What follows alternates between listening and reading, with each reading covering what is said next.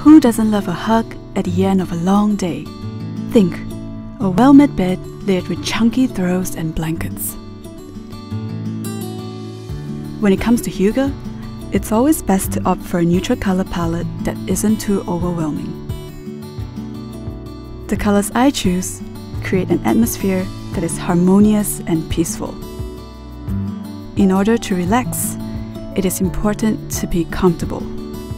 Add plum pillows to the bed to create that cozy feeling as you enjoy time out with a good book or snuggle with your furry partner.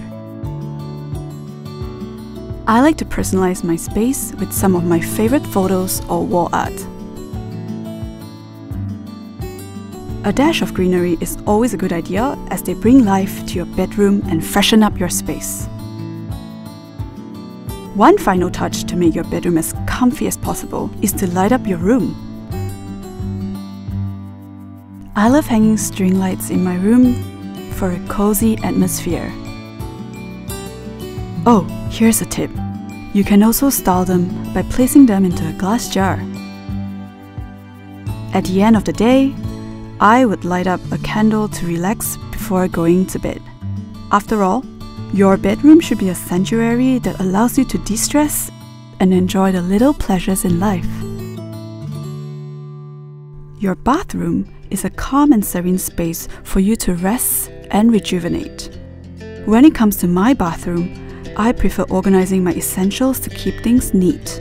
Use a glass jar or a dish to organize daily use items such as cotton buds and makeup brushes. Now, there's more room for makeup. For other bathroom essentials, I like to use soft bath mats and thick fluffy towels with a focus on comfort. Another must-have in my bathroom is a good knitted laundry basket. I like one that has carry handles and is made of durable, water-resistant fabric. It's time to give yourself a nice long soak in the bathtub. To add on to the calming ambience, prepare your bath and light up some candles for some natural warm light.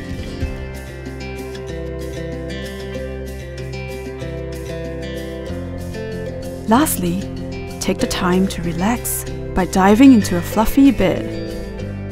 After all, you deserve it.